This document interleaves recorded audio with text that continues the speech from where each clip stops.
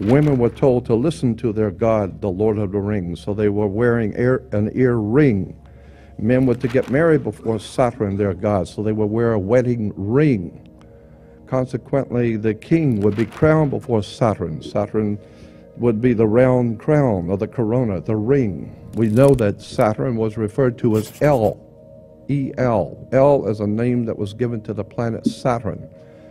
And therefore, if you were worshiping Saturn, you represent the law. You are referred to in church today as an elder.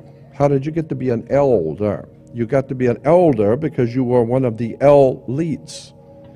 How did you get to be an elite? You got elected because through elections, all of our system is based on occult, mystical words and terms going back to the planet Saturn, going back to the Phoenician Canaanite system of banking.